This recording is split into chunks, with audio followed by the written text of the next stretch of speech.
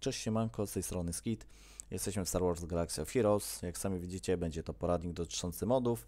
Więc słuchajcie, podstawowo jakie mamy mody, czyli mamy mody Healed, y, odpowiadają za życie naszych postaci, Defense odpowiada za Protection, Critical Damage odpowiada za krytyczne obrażenia, Critical Chance odpowiada za zwiększenie tam szansy na krytyczne obrażenia, y, Tenacity odpowiada za odporność y, naszych postaci na debuffy wszystkie, Offense po prostu zwiększa nasze obrażenia, Potencji mm, zwiększa szanse na nałożenie stunów czy debuffów i buffów, no i Speed oczywiście wiadomo odpowiada za szybkość naszej postaci. Także słuchajcie, mamy mm, w postaciach cztery różne postacie. Mm, mamy tak zwanych atakerów, tanków, supportów i healerów. Oczywiście każde postacie wymagają własnego modowania, także nie bierzcie zawsze po uwagi to, że ataker musi mieć critical damage plus critical chance, ewentualnie offense plus e, critical chance ale tak byśmy zalecali, żeby tak robić, więc y, wszystko zależy wiadomo od postaci, ale to tak y, skrótowo po prostu. Jeżeli macie atakera, składacie critical damage plus critical chance albo offense plus critical y, chance. Jeżeli chodzi o tanków, no to tutaj masa healed oraz właśnie mm, defense możecie najwyżej włożyć, tak żeby zwiększyć protection tej postaci. Jeżeli chodzi o supportów i healerów, no to tutaj nie ma co. Tutaj musicie ładować po prostu speed i healta e, z modów, jeżeli chodzi o ułożenie setów. Mm, jeżeli chcecie wiedzieć jak sety się składa, macie tutaj set bonus, tutaj macie wymagania jakie są potrzebne, jaki bonus dodaje Wam e, bez 15 levela, tutaj po 15 levelu, więc jak widzicie robi to różnicę dość sporą.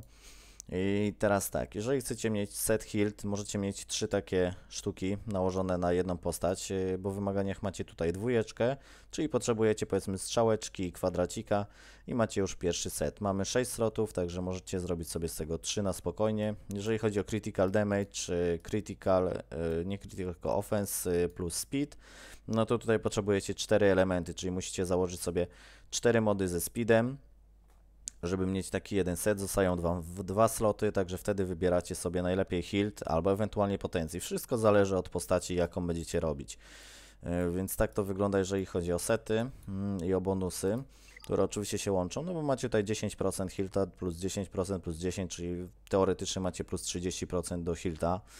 Mm, więc sobie teraz omówimy dokładnie co i jak, e, na co zwracacie uwagę w każdych e, modach. Także zaczynamy od strzałki. W strzałeczce primary, no to głównie speed. To jest najbardziej wymagane. Mm, tutaj zalecamy tylko speeda. Y, można wziąć wyjątki, najwyżej podstacie atakery, które właśnie mają kontrę, ewentualnie z asysty atakują. Wtedy możecie pomyśleć, żeby tam offense wsadzić w primary, a wtedy jak największy speed y, w sekundary szukać.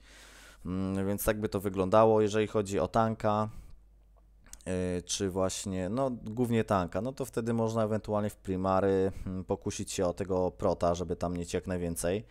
E, tak to reszta modów e, tak naprawdę leci na śmietnik. Jeżeli tu chodzi o sekundary, no to wiadomo, szukacie po prostu jak największej hmm, no, liczby tutaj, co Wam pasuje, tak? Healed, Protection, potencji, wszystko zależy od Waszych postaci. Yy, no i tak jak wspomniałem, offense, jeżeli wpadnie, jeżeli robicie atakera z asystami, tak jak powiedzmy Asoka czy Duku, wtedy macie tutaj offense, no to szukacie jak największego speeda wtedy w sekundary. Yy, jeżeli chodzi o kwadracik, yy, no to tutaj primary Wam się nie zmienia. Macie cały czas offense i tylko to jest. W sekundary szukacie speeda. Jeżeli nie ma tutaj speeda, z automatu możecie mod wywalić do śmieci, sprzedać go.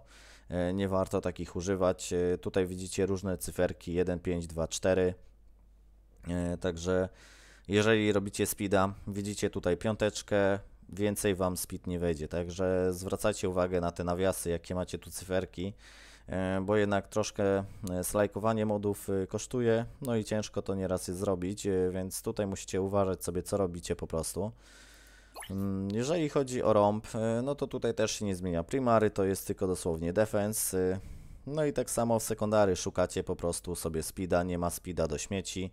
I tak samo reszta e, statystyk. E, pod atakera wiadomo, ofensę i takie inne rzeczy możecie poszukać. Mm, jeżeli nakłada postać stuny, tak jak powiedzmy Traun, który swoim strzałem potrafi nieraz nałożyć e, właśnie stuna, to warto też, żeby miał jak najwięcej potencji w tych sekundary plus offense i właśnie speed. Więc tutaj musicie sobie pod daną postać popatrzeć, co ona robi po prostu. Jeżeli chodzi o kółeczko, no to tutaj troszkę zabawy jest, bo możemy mieć protection oraz healed właśnie w statystykach primary. Hmm, tutaj bardziej bym szukał protection, żeby wsadzić. Jeżeli chodzi o healta, no to to są wyjątkowe postacie, które mają dodatkowe bonusy właśnie z tego życia, czyli weźmy na przykład właśnie generała Grieviasa czy E, Padme. Tutaj już można wrzucić Hilta na spokojnie, mm, jeżeli chodzi o te postacie, czy inne, które mają właśnie bonusy z życiem. E, no i tak samo wygląda sekundary. Tutaj szukacie speeda po prostu, mm, ewentualnie pozostałych statystyk pod daną swoją postać. No i tak to wygląda z pozostałymi modami też tak naprawdę. Tutaj krzyżyk mamy, mm, tutaj jest duża możliwość, bo mamy potencji, nie wiem czy będę miał z tym wszystkim, tu macie potencji, tenacity macie, hilta, i tam jeszcze jest offense y, i jakieś tam inne rzeczy, defense, y, protection jeszcze jest, więc y, tutaj w krzyżyku też dużo zależy od postaci. Jeżeli to jest ataker, możecie się pokusić, właśnie taki z kontrami możecie się pokusić, żeby tam dać offense, czy ogółem nawet na każdego atakera. No jeżeli postać, wiadomo, nakłada stuny, tak jak Palpatine, szukacie potencji. Jeżeli hmm, szukacie, powiedzmy, postaci, która E, często dostaje debuffy od waszych przeciwników, e, no to wtedy możecie skusić się, żeby tenacity włożyć, żeby mieć tą większą odporność na to, żeby te debuffy nie siadały, ewentualnie jakieś mniejsze ilości. No i to samo, sekundary, tu się nic nie zmienia, szukacie jak najlepszych statystyk, oczywiście ze speedem, mm, tutaj w postaciach, e, więc tutaj się nic nie zmienia. Jeżeli chodzi o trójkącik, to jest też masa, macie health, defense, protection, critical chance, critical damage, to chyba wszystko z tego co pamiętam, co było. Mm, więc słuchajcie, tutaj najlepiej critical damage. Jeżeli macie taki mod, to od razu go levelujecie, mm, no bo tutaj najlepiej poszukać speeda. Oczywiście bardzo rzadko się zdarza tak, że macie critical damage plus wysoki speed, więc tutaj raczej e, bym poszukiwał sobie innych modów, e, jeżeli nie będziecie na to zwracać uwagę, na ten critical damage, bo można stracić dużo speeda, ale można zyskać troszkę obrażeń i właśnie tych krytycznych obrażeń, więc y, wszystko zależy od tego, jak modujecie postać. Y, więc y, no defense no jest kijowy, no nie jest użyteczny tak naprawdę. Protection też się tutaj nie wybiera i się zazwyczaj nie ustawia. No ale niestety, jeżeli Wam wypadnie mod, który ma dużego speeda, no to już musicie rozważyć, czy wsadzacie sobie z dużym speedem, czy po prostu rezygnujecie troszkę z tego speeda, żeby zyskać właśnie krytyczne obrażenia, czy większe szanse na krytyczne obrażenia albo jakieś e, powiedzmy na życie. E, no i to w sumie tyle by wyglądało, bo defense i protection to naprawdę nie warto inwestować e, przynajmniej w primary tego. Mm, także już wiecie jak wygląda tutaj robienie tych modów. Jeżeli chodzi o slajkowanie modów i o to jak powinniście levelować te mody, także weźmy sobie na moda z pierwszym poziomem. Słuchajcie, jeżeli chcecie hmm, slajkować sobie, już nie slajkować, tylko levelować taki mod, y, no to biały mod niestety musicie podnieść na poziom 12. Widzicie, tutaj ma potencji, nic nie wiecie jakie ma sekundary statystyki, więc musicie zrobić go na 12 poziom i wtedy Wam wyskakuje wszystko. Wiecie już, że ma Hilta, Tenacity, Hilt, Protection, czyli mod nadaje się do śmieci. Nic z nim kompletnie nie zrobicie. Yy, tak, spróbujmy poszukać, no nie wiem, czy będę miał jakiś zielony, raczej nie mam zielonego moda takiego. E, także słuchajcie, na przykładzie tego pokażę już Wam. Hmm, jeżeli chodzi o zielony mod, y, bijacie mu dziewiąty level, wtedy wszystkie statystyki Wam się pokażą. E, jeżeli chodzi o niebieski mod, takiego też nie mam, żeby Wam pokazać, musicie wbić na szósty level. Wtedy wszystkie statystyki zobaczycie, jakie są. No jeżeli chodzi o fiolet, no to wbijacie go dosłownie na trzeci poziom. Widzicie już tutaj akurat aktualnie, że jest speed, więc y, od razu robicie go na 12 level. Także pokażę Wam, jak to wygląda. Trójeczka, widzicie, no wyobraźcie sobie, że tutaj dopiero speed się pojawił, więc łykacie sobie po prostu tak. Dwunastka, no i speed nie wskoczył, więc y, teoretycznie dla mnie już ten mod jest do śmieci, bo szkoda będzie inwestować go, żeby spróbować wyciągnąć speed więcej, bo slike nie będzie wcale tani. Y, także jeśli chodzi o te speedy, no tak po skrócie Wam mogę powiedzieć, jeżeli y, w białym modzie Dobra, powiem wam jak ja to robię w sumie. O dobra. Mm, Biały mod, jeżeli ma speed 5, y, no to go na upartego zostawię. Mogę go slajkować, może wskoczy wyżej od razu. Mm, Jeżeli na zielonym modzie nie ma powiedzmy plus 7 minimum na takim modzie speeda, no to ja z automatu go też wyrzucam. Jeżeli chodzi o niebieskie, to przeważnie zostawiam takie plus 10 dopiero ze speedem. Fiolety to już bardziej szukam takich plus 12 y, wzwyż y, modów, jeżeli mam zostawić na start. No i złote, no to wiadomo, tutaj najlepiej, żeby od razu wskoczyły na 20. Jeżeli nie wskoczą, no to można pokusić się na slajd ze względu, że są właśnie te nowe mody, że jest teraz tiery są coraz wyższe. Mm, Także tak to wygląda, jeżeli chodzi o te kolory. Mm, Tutaj w tym tierze, no można, są szanse, żeby dalej to zrobić y, na speeda. Tylko, że pamiętajcie, że te części ze slajka już wcale nie są łatwe do zdobycia. One chyba wypadały tylko z Galactic Challenge, jeżeli dobrze pamiętam. E, No i tutaj macie ryzyko, tak? Może wam wskoczyć speed, może nie wskoczyć. Stracicie, no dość sporo się traci tych itemów, ich dużo nie ma. Mm, Także tutaj macie ryzyko. Teoretycznie kiedyś, y, dopóki nie wprowadzili tego, mm, takie mody się przerabiało właśnie jak się miało powiedzmy te plus 20 speeda na mm, takim zwykłym, albo tak jak w tym przypadku plus 19, podbijecie sobie y, na ten kolor na tier wyższy, czyli szósty, no to wtedy dostajecie statystyki prymary plus y, tutaj Wam nie wskoczy w nawiasie oczywiście po jednym wzwyż, tylko po prostu Wam podbije statystyki, więc teoretycznie w tym momencie miałbym plus 20 speeda, no i mógłbym ryzyko, ryzykować sobie takim slajkiem, na przykład, że mi tutaj na zielony go podnoszę i akurat może wpadnie mi te plus, plus 5, więc będę miał 25 speeda, no i więcej już nie wycisnę z tego. Także z tymi slajkami nie śpieszcie się, szukajcie dobrze modów, bo możecie dużo stracić na tym, możecie zrobić go na maksa, a się okaże, że w ogóle speed nie wskoczy. E, Także tutaj jest dużo kombinowania i naprawdę musicie pilnować się tego. A więc już wiecie, jak robić postacie, mm, co jest Wam potrzebne tutaj. E, Teraz Wam jeszcze powiem taką małą ciekawostkę, jeśli chodzi o mm, szybkie przenoszenie modów. E, Do końca nie wiem, jak to super działa, bo nie korzystam z tego, ale tu macie taki async loadout e, i tutaj macie, dobra, wezmę to, usunę, e, żeby Wam pokazać, e, jak to mniej więcej działa. Więc słuchajcie, mm, tutaj macie na obrazku swoją jakąś tam postać.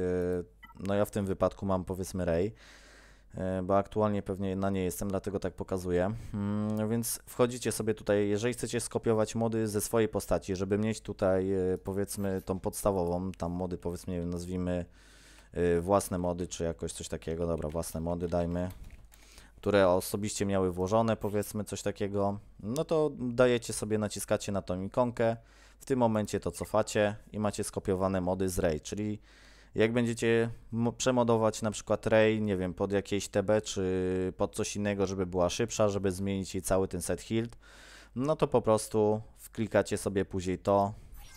Akurat nie ma zmienionych modów, to tego nie mogę, ale tam zapewne wejdzie to od razu, zapyta się, czy chcecie przenieść, także y, zobaczmy. No i dobra, stwórzmy sobie na przykład, nie wiem, y, że chcemy przełożyć sobie mody z Ravena na przykład.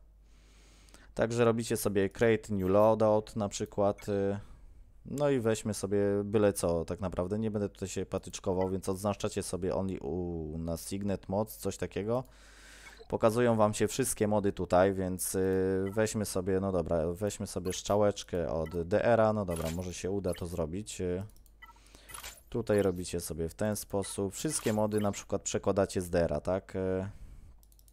Bo powiedzmy on ma na przykład super mody, ale nie używacie go na arenie, tak? Bo powiedzmy on ma tam każdy plus 25 speeda i go musicie mieć na przykład pod Rexa, bo Rex jest wolny u was i musicie go przyspieszyć. Yy, także mniej więcej tak by to wyglądało. Mm. Oczywiście tutaj sobie możecie zmienić nazwę, że to są mody DR. Tutaj musicie sobie sami nazwy wymyślać. Yy, No i dobra. Mm, W tym wypadku, jeżeli mamy tam Ray zaznaczoną, yy, klikacie sobie na mody DR i wyskakuje Wam takie okienko, że chcecie przenieść mody DR-a na Ray na przykład, tak? Dajecie assign, podmieniają się te mody. Ja tego nie będę robił aktualnie. Mm. No i po prostu tutaj wtedy musicie sobie wejść z powrotem jeszcze raz, że chcecie wrócić tymi modami. E, Także zalecałbym pobawić się, potestować sobie to, jeżeli chcecie robić sobie coś takiego na jakichś modach, których w ogóle nie używacie. Żeby wiedzieć jak to dokładnie działa. Ja tego nie powiem Wam jak to działa, bo nie korzystam z tego, nie lubię przenosić modów, bo samo przeglądanie modów dużo czasu zajmuje, mm, więc y, tak by to wyglądało. Wydaje mi się, że wszystko Wam powiedziałem o tych modach, y, bo to tak naprawdę największa robota jest to, że po prostu przekładamy te mody, robimy pod dane postacie jakoś inaczej. Na przykład weźmy sobie generała Skywalkera. Widzicie, tutaj ma Hilta plus offense. Jest używany to do ataku. Jeżeli na przykład mamy grać na TB, no to wypadałoby mu te mody zmienić pod samego Hilta, no żeby był jak najbardziej wytrzymały. E, bo na tym TB zazwyczaj z samą masoką jest, więc wtedy dość szybko pada. E, no jeżeli na przykład się walczy nim na arenie, no to jeżeli jest podrej, no to możecie zostawić sobie taki setup. Jeżeli chcecie, żeby on był liderem, bo walczycie na jakąś kontrę, fajnie by było jakby miał protection jak najwięcej, e, żeby szybko na kolana nie padał. Także mniej więcej tak to wygląda. E, ja nie jestem mistrzem tych modów, więc nie będę Was tutaj mówił, jak koniecznie musicie to robić. E, po prostu takie podstawowe informacje, żebyście wiedzieli. Wam przekazuję. Oczywiście, jeżeli będziecie mieli pytania, mm, jeśli byście chcieli ewentualnie jeszcze jakiś inny materiał na temat modów, no to się podejmę tego, pozbieram troszkę informacji najwyżej ze swojej gildii, troszkę się doedukuję najwyżej z tymi modami. A jeśli nie będziecie chcieli kolejnego jakiegoś takiego odcinka, bo będziecie mm, chcieli dosłownie tylko się coś tam zapytać, po prostu piszcie w komentarzach, ja Wam odpowiem wtedy. Mm, także tak by to wyglądało, sprawa z modami. Teoretycznie nie jest skomplikowane, ale w praktyce no, wychodzi tak, że dużo się kombinuje, więc y, no tyle w tym poradniku, więc y, do usłyszenia po prostu z jakimś następnym poradnikiem. Jeżeli byście mieli pomysły na jakiś poradnik albo coś byście chcieli konkretnego się dowiedzieć e, w formie poradnika, dajcie też po prostu znać, to najwyżej taki materiał zrobię. No i tyle, trzymajcie się.